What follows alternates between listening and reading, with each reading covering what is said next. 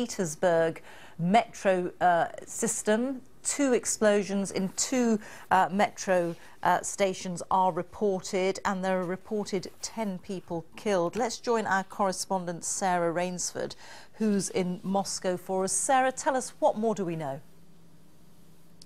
Well, this uh, was uh, an explosion, at least one explosion. There are reports of two explosions possibly on the St. Petersburg metro system. This is, of course, Russia's second city, uh, and this was uh, at least one metro station right in the heart of that city.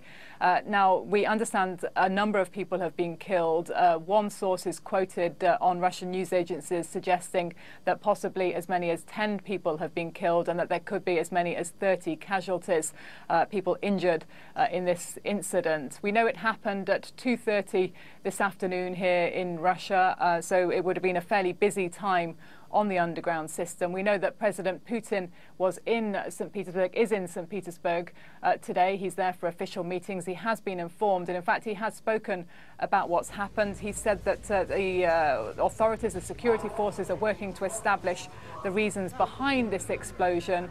Uh, and he says that all reasons, including terrorism, are being considered, but also potentially uh, criminal causes uh, for this explosion. He said that Russia will take all measures to help the victims, and he sent his condolences condolences to those who died, so uh, to the families of those who died. So clearly there are uh, some people who have been killed uh, in this explosion. And are there any eyewitness accounts coming out of St. Petersburg yet? Not that I've seen yet. What we've seen are pictures, we've seen stills, we've seen uh, mobile phone footage from the scene, which shows at least one very badly damaged uh, train carriage and a number of very seriously injured people uh, on the uh, platform to the side of that carriage. So clearly an extremely serious incident. And we've seen uh, pictures too from uh, very smoky corridors in the Moscow, in the St. Petersburg uh, underground system. Uh, I think it was fairly early on, and these are clearly people who didn't see the explosion because the, the commentary with the footage I've seen uh, is talking about a fire, and people look fairly calm. So panic obviously hadn't set in at that particular point. But the emergency services are there, there are fire engines, there are ambulances. Uh, it is a major incident, and, and everyone has obviously responded. As I say, President Putin uh, has said that uh, they're not excluding the possibility that this could have been a terrorist attack, but that at this point has not yet been confirmed. And Sarah, while you've been speaking, Reuters is reporting that all St. Petersburg metro stations are now closed.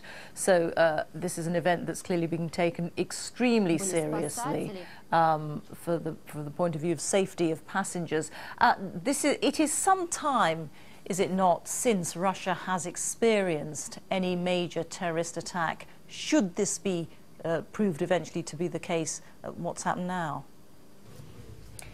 It is. Uh, there has been uh, an attack in the past here in Moscow on the metro system here, and after that very serious attack, uh, security was increased on the underground here. There are metal detectors uh, on the at the entrance to every uh, train station here. But it has been some time. Of course, since that last attack, uh, Russia has sent its troops, its fighter jets into Syria. It's been fighting on the side of Bashar al-Assad in Syria.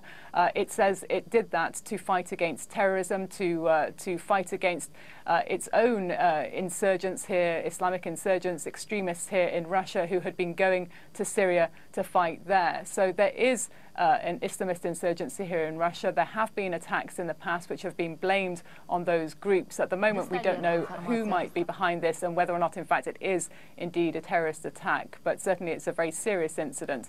And as I say, President Putin has said that that's one thing that the authorities here, the security forces, are investigating at the moment.